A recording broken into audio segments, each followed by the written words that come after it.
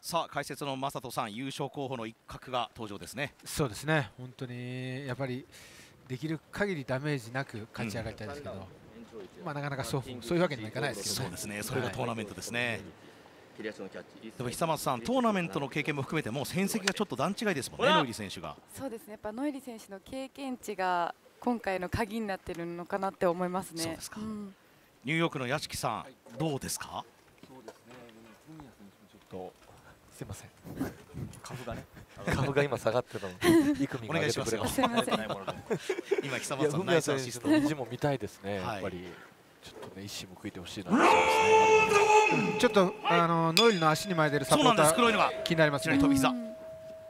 来ましたねいきなり。来ましたね。これこれもチャレンジャーらしいですよね。そうですね。もうガンガン行った方がいいと思いますね。左ハイキックです。おナイス。右いきなり一発目。右クロス。一撃目です。うわ。右クロス合わせましたね左に。しっかりガードしてます。前蹴り。左のミドルキックでも前に出てくるのはノイリの方です。でもパワーありますね、うん、文也も。そうですね。ハイパーバトラースリートと呼ばれてます。左。入りました。本当にピンポイントでノイリの攻撃はこう今も顎をピンポイントで打ちにきましたね、えー、島佐さんどうですか？いやいきなり右フックが入りましたね。きましたね。一撃目でしたよね。文也選手も体大きいですね。そうですね。左ボディすごい。レバーブローですいわゆる。前蹴り。バックブロー回転系出してきました。久間さんこれですもんね。そうですね。でも手数が少ないのにノイリ選手がすごいプレッシャーかけてますよね。まさに。うわガードしてます。当たらないと思いますと話していたのがノイリ。もう一つバックブローこれでも松田さんこれ間合いがずっとノイリですよねそうですねもうプレッシャーかけてますね、ボディフック。あれだけこうプレッシャーかけられるとうわ左ストレート。左ストレートです。あ足に来てる。今日今日のエリキレがありますね。調子いいだろうさあ2度ダウンキスすると準決勝まではもうそのまま負け取ります。ダメージありますねさあどこで倒すか考えてますノイリボディーフックから左。あ返してくるフミヤも見せます。ガードの上か。フミヤもパワーありますからね。一発もらうと怖いですよね。も落ち着いてます。出方待って。打っていく。右出しながら。見てます。見てます。ますね。右のストレート刺していきます。左フック空を切る。これも。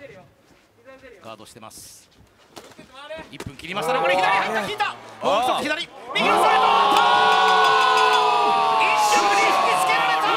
糸が切れたマリオネット踏み足沈むノイリ1ラウンドで決めてみせました。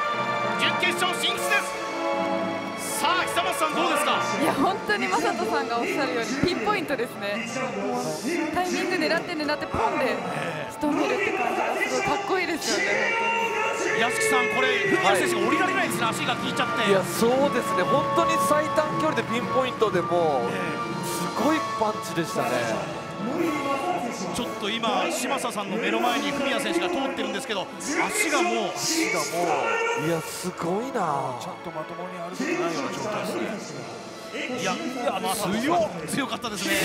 全部パンチが顎に打ってるんですよね、だから倒れるんですよね。顎レバーブロー溝打ちの攻撃って全部急所狙います。なるほど。もうこれでも足のテーピングまずはどう想像します？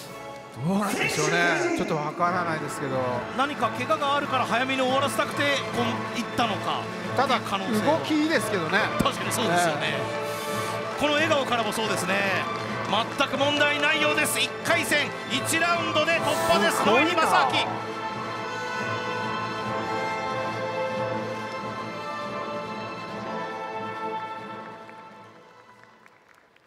ピンポイントでも、すごいパンチでしたね。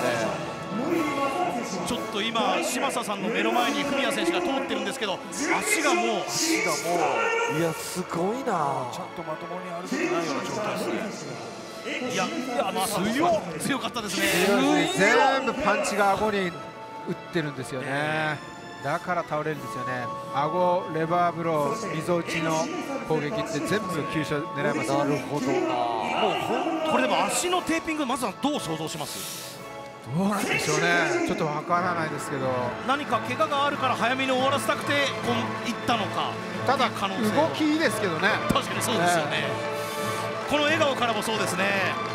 全く問題ないようです。1回戦1ラウンドで突破です。野入正明